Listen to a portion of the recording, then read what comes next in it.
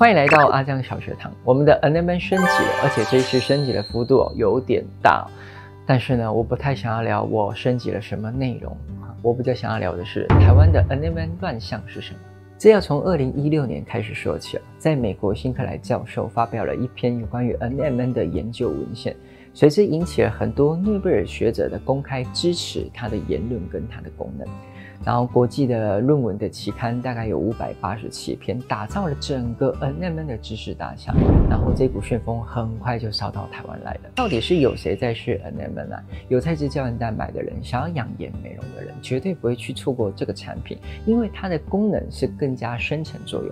但是去年美国却发布了一项令人错愕的讯息：化学纯化的 N M N 已经不能在美国当食品使用了，它要当成是药物开发使用。那现在呢？我们看回来台湾，当美国都已经宣布了化学纯化的 N M N 不能使用，那我想台湾是绝对不会开放化学纯化 N M N 的合法性。所以更加深一件事情：如果说你在台湾要吃 N M N 的话，它只能够来自于天然食物来源。那么问题来了，你怎么知道你吃的产品里面有 N M N？又或者这 N M N 含量是多少？针对这两个问题哦，我有一个解法。第一，也就是我常说的，你在购买产品的时候要去看它的成分背后有没有写贝塔烟酰胺单核苷酸。如果它没有写的话，就代表啊它没有含 N M N 啊那你会说，哎，奇怪，如果成分不含 N M N，为什么产品可以叫做圈圈叉叉 N M N？这样合法吗？哎，厂商会给你解释哦，N M N 是我的一个商标名字。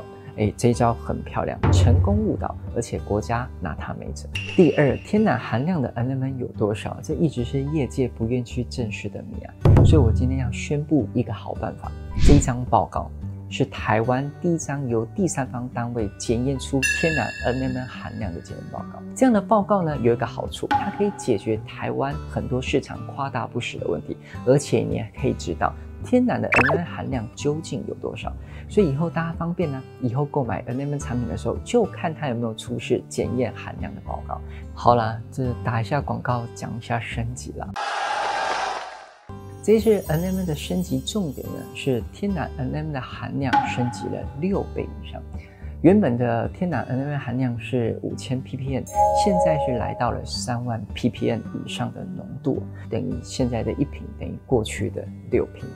还有，我参考了哈佛辛克莱教授的方法，让 N M N 又加上了白藜芦醇啊，因为经研究显示，白藜芦醇呢可以提高我们核心部位一百六十 percent 以上的 N A D 正的浓度。还有，我一样保留了高于灵芝跟樟芝的多糖体贝塔葡聚糖。以上呢就是我的升级内容。最后，为了让你省荷包了，其实你可以不用买而那门因为它并不是必需品。但如果你一定要买的话，除了我之外的产品，你也别无选择。